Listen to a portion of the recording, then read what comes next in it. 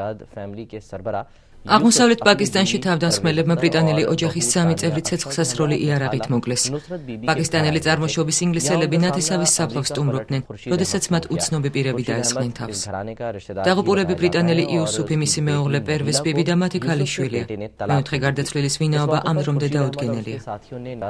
სამართალდამცველთა ინფორმაციით ბრიტანეთში მცხოვრები გარდაცვლილი იუსუფის ვაჟიშვილი 12 წლის ქორწინების შემდეგ ერთ-ერთი თავდამსხმელის ქალიშვილს გაეყარა. სწორედ ეს გახდა ბრიტანელი ოჯახის წევრების खुद से सुनाते खुर्शीद अहमद इस घराने का